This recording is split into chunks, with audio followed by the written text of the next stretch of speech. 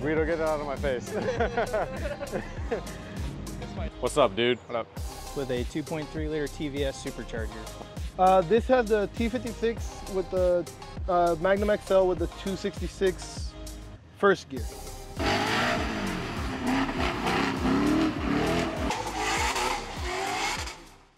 All right, guys, so we're out here at Holley Ford Fest. It's the first day, which is actually loading day. We finished setting up everything, our paddock area. Isaac's got some scooters up. But what I'm gonna show you guys today is every single drift Mustang at Holley Ford Fest 2024. So let's not waste any time and jump right in.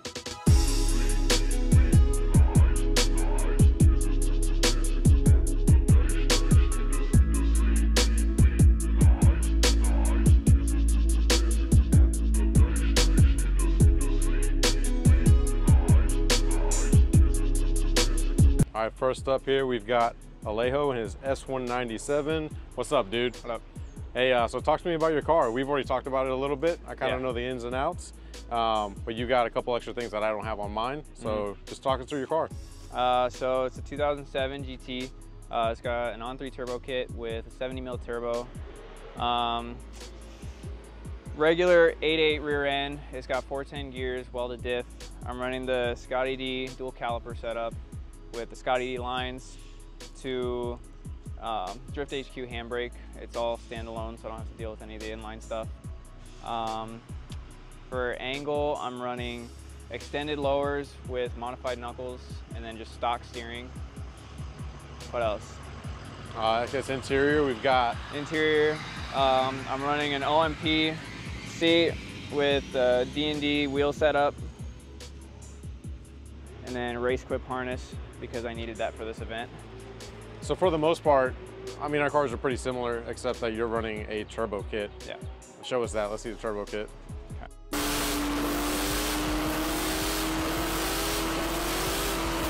See, we've got the. Uh, the Had dump- to do the hood dump.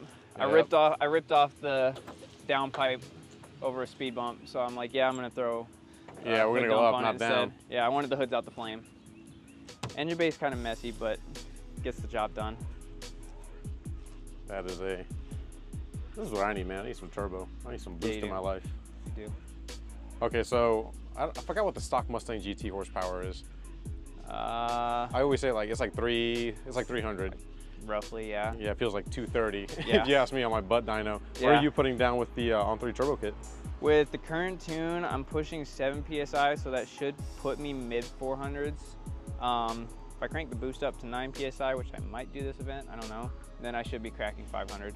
And that's all on pump gas 93, Yep, 91. 91. Yeah. Oh wow, 91. Is 90, 93 is harder to find over where I'm at, so I decided to just say screw it, go 91. That way I can fill up anywhere. Okay, do they have 93 here in Kentucky? Yeah, they have more 93 than they have 91. Because I pulled up to a gas station to fill up, I'm like, that's Yeah. Yeah, in Texas it's 93 or E. Yeah, that- in Florida it was 93. So my other Mustang is on 93. Yeah, the Mustang's on 93. Yep. And your other Mustang is It's a 2006 uh, 4 liter V6 Mustang, but it's wide body and bagged. Um, and I'm actually currently in the process of doing the first Barra swap in the country on this model Mustang. that's awesome, dude. I think it's gonna rip once it's done. Oh yeah, I'm excited for that. Should be should be around 1100 horse by the time I'm Holy cow! So And that's it'll, it'll be a show car. It'll be a fast show car. a fast show car, Yep. but not a, a party car. Correct. What's uh what are the next plans for this S S197? Over the winter, um, probably gonna do a rear mounted setup because where the turbo sits, I've already gone through one fan because the turbo melts it. Oh Um, man. So rear mounted setup, I'm gonna cut out the whole trunk, do a full tubular rear. I'll probably do a front bash bar um, to switch it up, and maybe a cage. Start to go more for a pro spec, just because. Okay. Are you thinking about doing the cage kits? I don't know. I have a fab guy back home. Um, Gotcha. I'm gonna see what it would cost for him to do it, or if it'd be cheaper to, for me to just buy an already built cage and then have him do the fab work to put it in. Gotcha.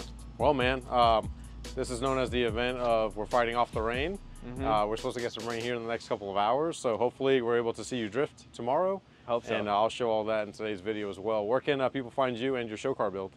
I'm sorry. Where can people find you and your show car build? Um, pretty much Instagram, TikTok, and YouTube, all Sky the S197. Sky, the S197. Alejo, I appreciate you so much. No problem. Thank you. All right, here we've got a Roush Mustang that belongs to my boy Christian here. What's up, brother? How's it going? All right, talk to me. What are we looking at here? What year? Uh, we are looking at a 16 uh, RS3 packaged Ford Mustang with a 2.3 liter TVS supercharger. Okay, you know what? We're just gonna jump right into it. Pop the hood. Yeah. Oh my God, look at that right there. Nice big old Roush supercharger. So Gen 3 Coyote, Roush supercharger, Uh, Gen 2 Coyote. Gen 2 Coyote. Uh, it's got rods, pistons in it, balanced bottom end. It's really about all done motor motor wise. well, what's it putting down to the wheels? Uh, 727 is the rated horsepower for the kit. Okay. So the front bumper, everything comes, that's part of the Roush kit, right? Yep, front bumper, rear bumper, side skirts, and then it's got all some interior bits and pieces that are all Roush to it as well. And that hood scoop is FDF, is that what I saw? FDF, yep. Nice. Do you have uh, overheating issues with this? Uh, no, just with the top mounted blower, it does get hot. Right, you want to get as much heat out of it. Yep. Okay, what are we running for angle? Uh, we are running the Justin Pawlak Hotline Performance Angle Kit. And coilovers, you said? Feal coilovers in the front with uh, 12K front springs and then BC rear coilovers with uh, 14K rear springs. Nice. I think we spoke earlier about the cage, Yep. and this is probably one of my favorite cages I've seen in a car. Yeah, this is cage done by a local guy in Des Moines, Iowa. Had it kind of custom built to uh, still fit door panels, dash, and everything. And it's all FD legal, so it still has intrusion bars. Yeah, this is really nice work. Fire suppression, everything the pass uh, Formula Drift Pro Am. Yeah, dude, super clean. Still has AC? No AC, just heat. Just heat. Yep. Sound system? Sound system's still there. It's got the uh, sync touchscreen and all that stuff to it. So this is, is it street legal? You drive it on It's the a street legal, yep. Yeah, that's a clean looking car. It's fun to drive, that's for sure. Any bash bars in the front, rear? Uh, all factory crash bar system to it still. Oh, wow. Yeah, this is, I mean, I don't want to use the word simple, but It is. It's it, yeah, there's no other word I can really use other than it's a simple seat time car. But again, not simple, right? So yep. It's a Roush. Yeah, man, beautiful, clean car. Thank you. Only 13,000 miles on it. Only 13,000 miles. This thing's brand new. Is that a fire suppression system in there? Yep. Fire suppression system. You need it to have uh, pass Formula Drift Pro Am tech laws. And right there is our ND Pro Am Series Formula Drift Pass on the cage. Right there. Yep. Yep. There you go. Certified the car is good to pass this- at least ND Drift's Formula Drift rulebook. Yeah, that's a party car. Yeah. Just like I told Alejo in the S197. Hopefully, you guys get to drift today and this hurricane doesn't bring too much rain for us. Hopefully, let's keep wishing it pushes east. Yeah, I hope, man. And, like all the models show it hitting like right above us, and I'm like, no, don't do that. Parking right on top of us. It's Yeah. gonna suck, but All right, man. I appreciate you so much. Yeah, Let's no take a look at Turtle's car over here. Isaac, What's the up? homie. What's up, dude? All right, man. Talk to me about your car. So, like you explained, we have the RTR, full RTR uh, accent package, I guess you could say. So I got the RTR grill, upper and lower grill, got the RTR splitter, and for, as for RTR stuff, that's pretty much it. Oh, actually some RTR stickers on the windshield as well. Uh, I have Fiberglass Mafia wide body, which I also customized a little bit because this piece still has a big old piece that comes down here. I cut it so that I could make the bumper pretty quick uh, to be able to take take off, put on and take off. Gotcha. Um, I have a Boss 302 bumper bar. Okay. So instead of having the like stock bumper crash support, whatever it's called, is a Boss 302 bumper bar. And then I got a, I got a, I think it's Cervini's. It's a far, fiberglass uh, hood. Uh, this and this have been sent to me by CJ Pony Parts, so thank you to them. Yeah, let's talk about what's under the hood. I know it's a Coyote, Yes, it is um, but you've changed a few different things from what comes factory with them. yes, yes I have. So I I added in the Boss 302 intake, the Mishimoto three-row radiator with the Ford Performance upgraded fan, um, with the with the strut bar. Those are also thanks to CJ Pony Parts. Nice. And then I have my K&N cold air intake. Thank you to K&N for sending that out to me. And then as for this stuff, you see a whole bunch of rust in my fender. That's actually off of a spare chassis that I have that caught on fire. So I didn't get a chance to paint that. And you're made it to what kind of transmission? Uh, this has the T56 with the uh, Magnum XL with the 266 first gear. So it's a super tall gear. Back with the stock gears that I had in the diff, it was like uh, my first gear could go up to 60 miles per hour. Wow. Yeah. So I was like, that's no good for drifting. I went ahead and swapped it out for 488 gears in the differential, so this thing rips like no other. Yeah, it does. I mean, I can attest to that. It's Yeah. a lot easier to drift than my car. 100%. All right, that's dope. What about the inside? What are we looking at? Uh, inside we got, so inside we have the Status Racing Turismo seat with my custom logo embroidered in there. And I got the carbon fiber pattern out here with the green status and the kiwi green, I think this is what this is called, on the outside. What uh, what half cage is this? So this is Maximum Motorsports uh, roll bar. Okay, and it's a direct bolt-on. Yeah, Yeah, super easy application. very much so, yes. And I see the Scotty D handbrake there. I got the Scotty D handbrake with the tri- with the Tremec uh, shift ball. I got the NRG quick disconnect hub for the steering wheel, along with the quick disconnect uh, steering wheel itself. Um, I have also. I'm gonna hop onto the other side so I can show you. yeah, for sure. I also have a random Amazon bike rack for my steering wheel. So Whatever works, right? yeah, I got this idea from Edwin. Edwin Flores? Yeah, Heck back yeah. home. Shout out Uh, to he- Edwin. He gave me this idea, so uh, he has pretty much. It's a little bit smaller, and the hook's a little bit smaller, but he gave me this idea because he's like, he's like, yeah, that's where I put my wheel. Yeah, I'm gonna have to copy you, except I still have my visors in mine. Yeah. Yeah, so I yeah, no, I had to out. take out the visors. This I took out because Yeah, the lights wouldn't turn off. Oh, okay, I have my lights on there too. Yeah, no, the lights wouldn't turn off. They were actually, in, I think they're actually in the trailer. Okay, dope. What about out back? Let's look out back. Out back. So out back, I have some more RTR stuff. I have the RTR uh, wing. I have the RTR black blackout panel. And then I have some 2013 through 14 style tail lights from CJ Pony Parts as well.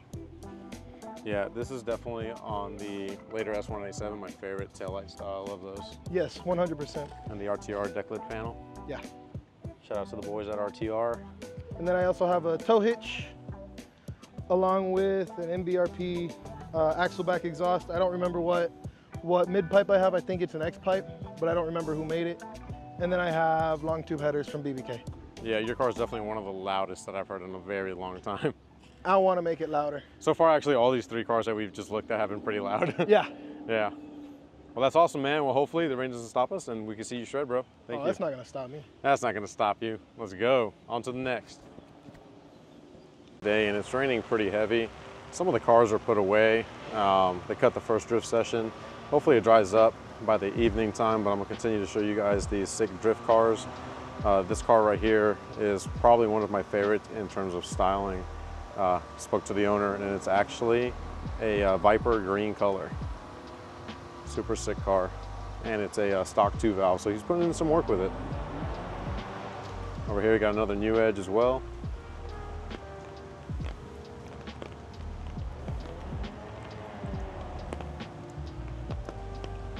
Continue to walk the pits here. This S197 belongs to Matt Glasscock. I did a full video interview with him. So you guys make sure to check out that video. There's a lot that goes into this car. Give you a little sneak peek here. It's powered by a Godzilla motor. Yeah, but that is a, for the most part, a pro spec build. He just wants to make some changes to it. Over here, the Justin Bauer team, Justin Bauer Motorsports. Love the Shelby front end and the Super Snake hood on this one.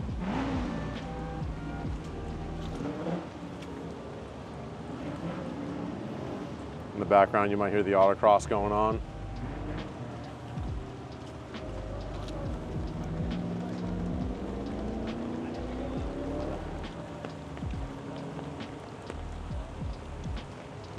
Looks like to be an SN95, again covered, protecting it from the rain. Go over here. You guys see the conditions out here. All the water's pulling up.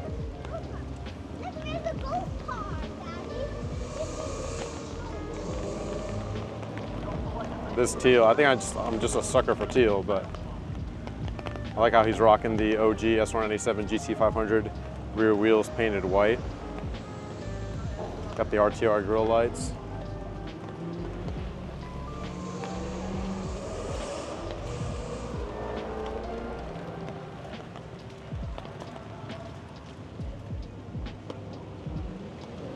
Super clean, super simple. And over here, something you don't really see. This car is insane, a Fox body. I mean, there's tons of Fox bodies out here, but this one's really clean and well done. I like what he did to it, or she. Still haven't met the owners. The Yakima roof rack's a nice touch.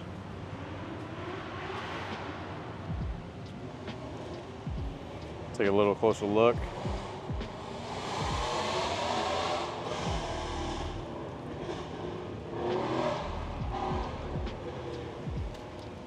Side here.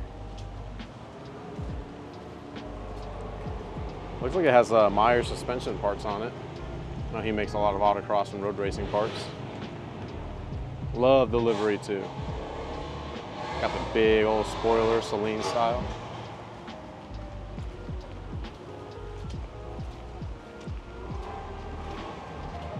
Another S550. Looks like it has the RTR over fenders on it.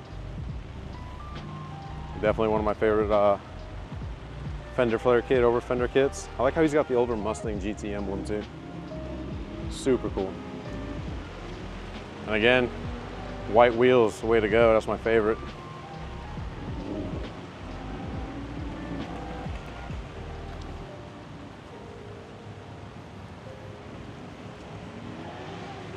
Got another one with the car cover. And hopefully you'll be able to see some of these cars after uh, we get on the track. SN95.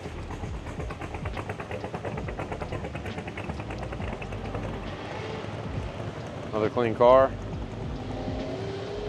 Love how low it is.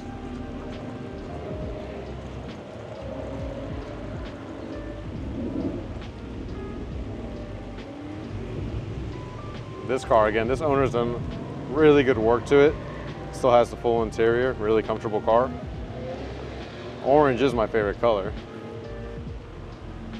So definitely drawn to this one again, white wheels, that's the move.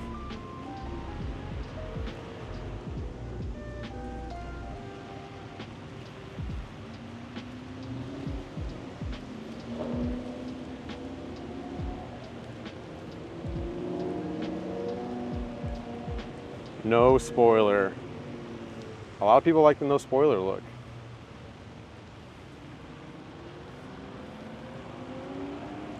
Clean car. Got another 5.0 tucked away over here. This one's definitely seen some action.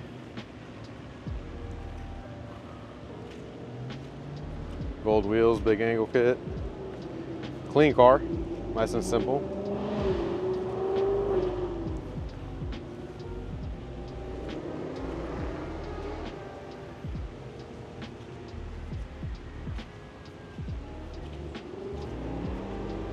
See what's going on around back. Yeah, that was a clean car. I can see the cage inside of it. Kind of hard to see with all the rain.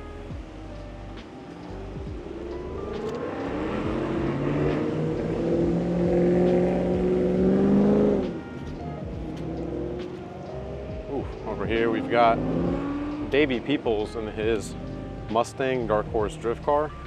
He just finished this car for this event. Might be able to get a full-blown interview with him tomorrow to get all the details.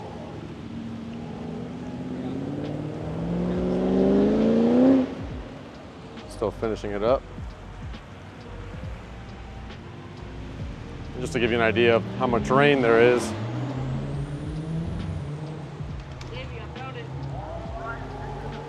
Real deep.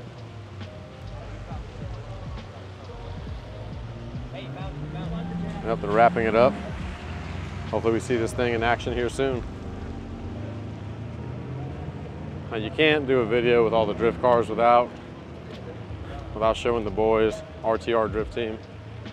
Looks like they have Ben Hobson's car and Vaughn's demo car out here as well. Let's go ahead and take a look at those. Again, got to protect all the cars from the rain, got the windows covered up, protecting it from the wind. This is the year of the hurricane. Yellow splash. It's my favorite color.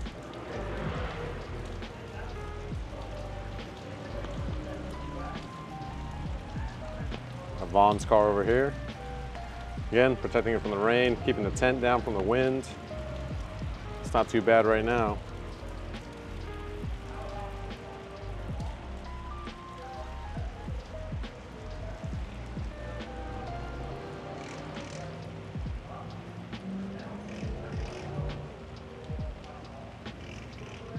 I do love a clean S197. Got the carbon fiber over fenders, again, white wheels.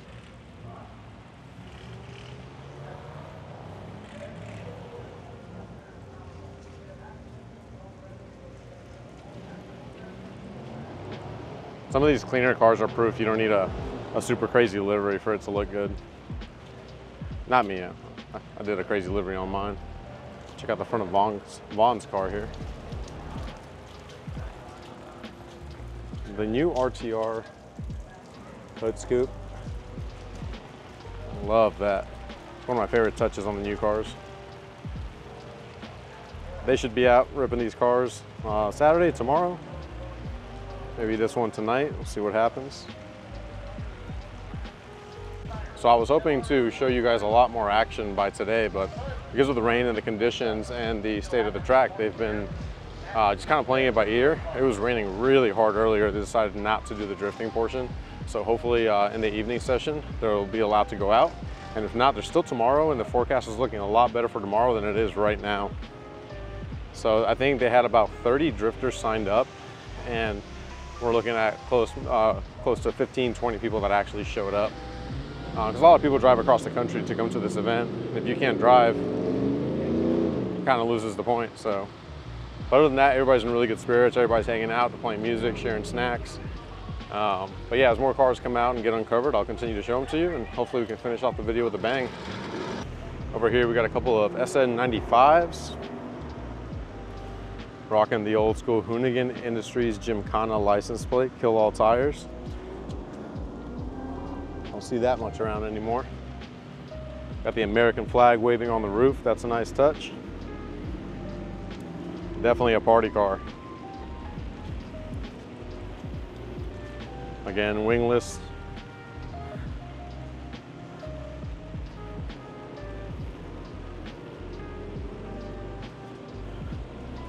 It says Amber, might be female driven, I'm not sure. Again, I'm still meeting everybody. Sticker bomb fender on this SN95.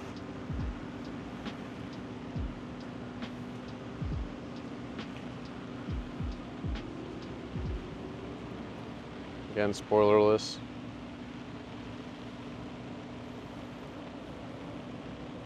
With all the SN95s, I also want to point out, everyone that I've spoken to, if you want to get into drifting, they're still rocking a stock factory two valve V8, uh, just like I'm rocking a stock three valve in my S197, and it's plenty to get into drifting without spending a ton of money. So if you want to get into it, you want into a Mustang, it's definitely one of the options to get into that's um, cost effective.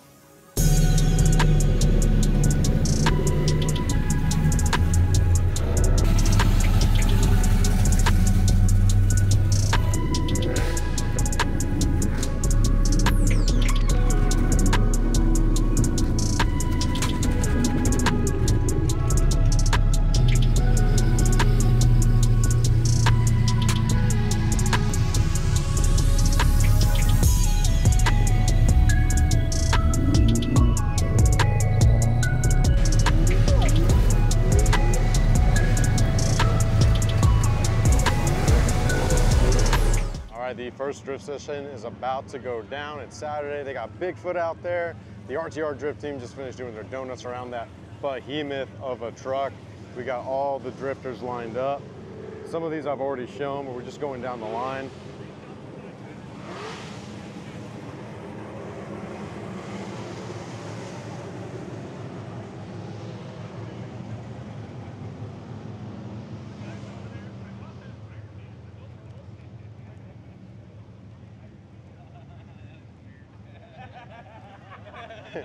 Got the boys filming. Guido, get that out of my face. It's my thing. That's your thing. SN95. Sky is S197. Turbo 3 valve. Fox body. This one S197 I haven't seen yet.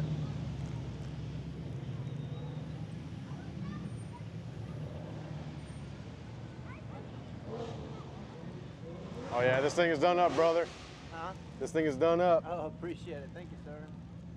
Yeah, we got the same car for the most part. Oh, do we? Yep. That looks like a competition orange S197. And the SN95s from yesterday. So this seems to be the lineup for the day. So uh, let's get some action in them.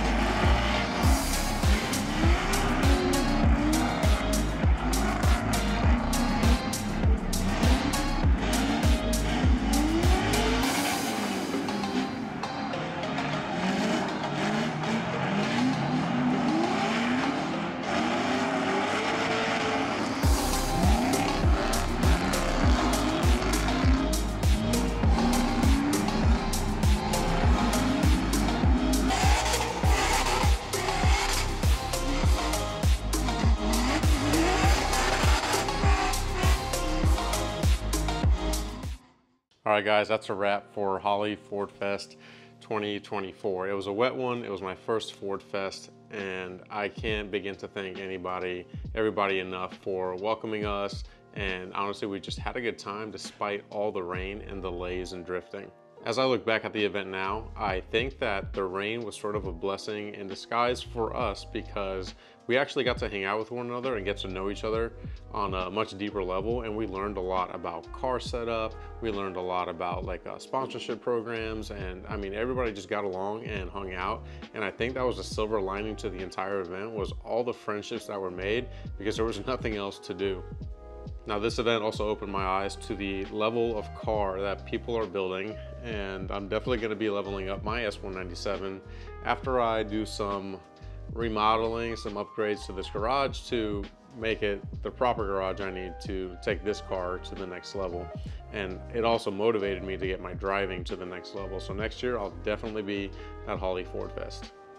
Now with that being said, we did take a bit of a risk driving from Austin to Kentucky with Hurricane Helene coming in. Uh, the event organizers did a great job at keeping the drivers and their property safe, making sure that everybody had their tents tied down or taken down, and keeping people on and off track during the appropriate times. We saw a lot of consistent rain and not a lot of winds, um, but overall, huge shout outs to the organizers. I think everything, despite the weather, was ran extremely smooth. But that's going to wrap up today's uh, video vlog for Holley Ford Fest 2024. Next on the horizon is SEMA 2024. So if you're going, we'll see you there. Don't forget to like, comment, subscribe. We'll catch you in the next video.